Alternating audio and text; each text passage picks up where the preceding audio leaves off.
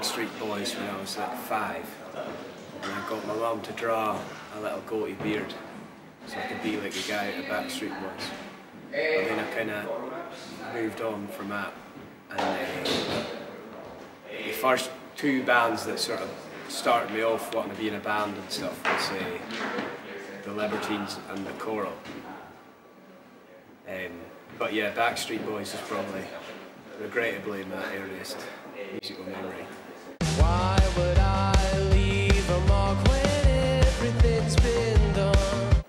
It's basically about uh, following a path that, like where we come from, um, it's what we're doing isn't normal at all, you know. And it's basically just the sort of traps that come with living a life that isn't normal, basically. And, um, just having like an unbalanced life, I suppose. Because like we go on tour for two or three weeks and live a really like overly fruitful life, and then you know come home and it, it's it's it's such a change, you know, to then go home and then try and sort of survive and keep playing in a band and writing songs and then going off on tour again and yeah, so it's just about like having an unbalanced life.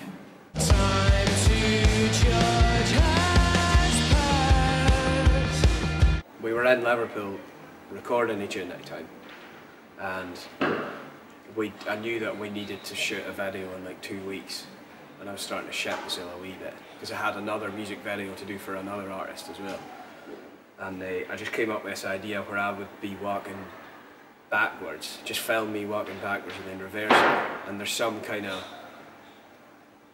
there's some kind of link with what his song is about in it that like going a completely different way to everyone else and and looking really kind of sedated and fucked up. You know what I mean? Um, so it just it just kind of fitted the idea of the song really. I think. Yeah, and I mean the way the frame kind of closes in as well kind of alludes to various things as well. Yeah. Well, that was just an idea at the end because the lyric, obviously in the chorus, close in, and I just wanted it to seem like I'm getting more and more trapped, you know. Because the song is basically, I read it kind of about, about me, you know what I mean? Um, so I wanted to give off the idea that everyone's sort of closing in. Now I'm sinking underground. Eh, I have no idea right now. Um, we're just kind of doing it single by single, like EP by EP right now. But I don't think we'll we'll have. I don't think we're a very sort of concept album band. We just write songs about what we know, you know.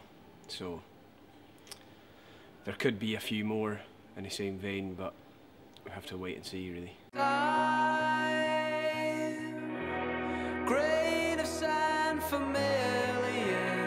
I had just had the idea one day to do it because uh, you always have to make these little tour video things to try and get people pumped up for your tour. And they're always the ones that we've done and the ones that we see other bands doing. They're all the same, you know. It's just loads of fast little clips of band playing, and to make them just look super cool. But then I just thought they they don't like stand out at all. So I think after a Stranger Things video as well, when we showed that we actually have a kind of funny side too, um, I just thought it'd be a good thing to do. And I've thought of little clips and films that would work, and spent like I just love doing it, you know. Um, so it's more like just to have fun than anything, but it worked and it spread the word quite a lot about the tour, which is good.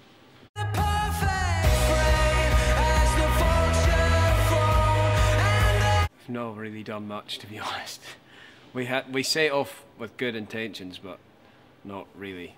A few of the boys went on that march in London, um, but I was too rough, so I just stayed. I had I needed it was on our day off as well, or one day off um, during the tour, so I needed to just sort of detox for a day. So I just stayed in my Travelodge room all day, and I felt so much better for it because it was sort of mid tour as well, so I needed that. Yeah, just kind of worked. But other, yeah, other than that, I've done no exploring, and the rest of the boys have basically done none as well. But it's still been a lot of fun. Placed on a throne, you can sink your teeth. Just in the house, basically. Um,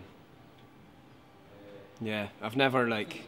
A lot of people say like, "Oh, John O'Groats is so beautiful" and stuff like that, and they, or just the Highlands in general, and like, you must like sit writing a song by a tree and looking at. Nah, just, I just sit with a guitar in my bedroom, write a song, and I'm pretty sure the rest of the band do the same, you know. I guess it was because I was kind of just wondering, you know, being so far away from everything in this kind of like sense of like isolation, does that kind of work its way into the music at all? Do you think? Or? I think it must do in some kind of way, but like subconsciously. Um, I mean, stuff that we write about it- isolation kind of comes crops up in songs as well. So it definitely it finds its way in it, but um, it's not something that we like try to make it sound like that or try to write a song about it. It just sort of crops up, which I, th- I think is the right way to do it because if you try and if you're trying to force feed someone that we're from John O'Groats and all that, and it just gets a bit, I don't know, a bit twee or something.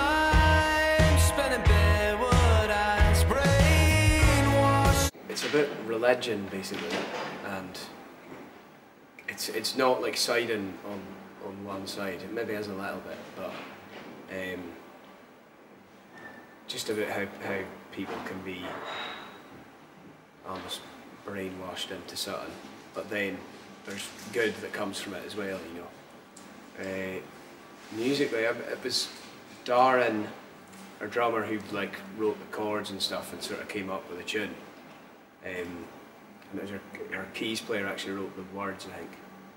Uh, but it started to sound a bit like Bennie and the Jets by Elton John, and I think we liked that about it. Uh, yeah, but it came out kind of sounding like us, which was good, rather than Elton John.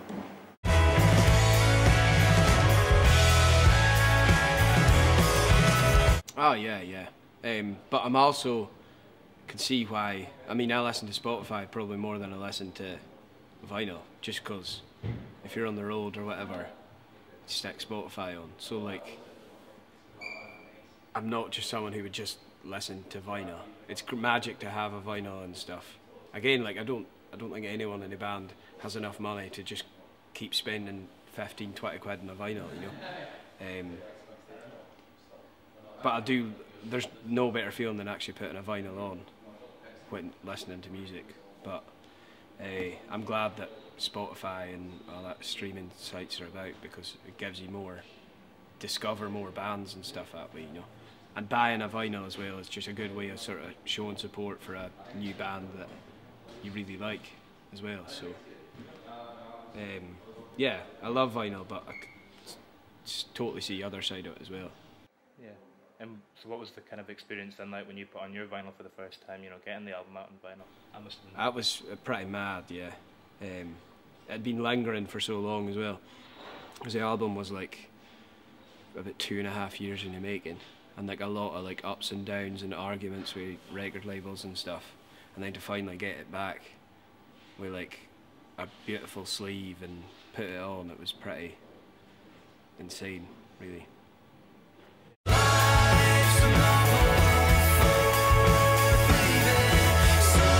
I've never really thought about it, really. Because, I mean, obviously, there's certain songs that, say, your management or label would go, that's a single. That should be, it shouldn't be any longer than a certain length. But I think naturally, we just write songs at that length because we're sort of into, like, classic songs, you know. I don't know. It's a good question, but I think it's just naturally how we do it, you know. Like we we we don't think. I really like bands who have big long interludes and stuff like that. Um, but we're just not very we're not very self-indulgent in that we won't play same chord progression for four minutes just because it sounds cool.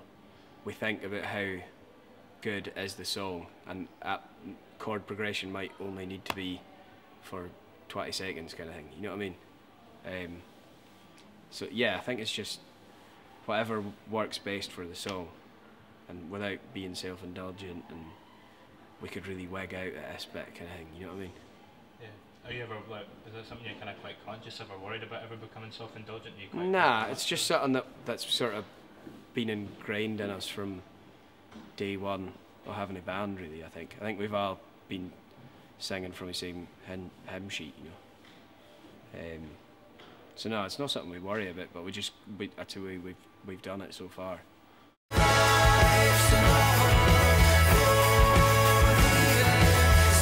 Oh yeah, yeah, and like playing um, the more the more tours that we do, like headline tours, you realise how much people love the songs of that album, you know. And uh, with new music coming out, more and more people are getting into the band now, and I think they're sort of discovering our first album for it for the first time, you know. And they're thinking, "Fuck, like this is actually really good," you know. Like how did they miss it, kind of thing. Um, so yeah, I mean it's the sort of album campaign and all that's over, but it's still doing a really good job for us, really. You know.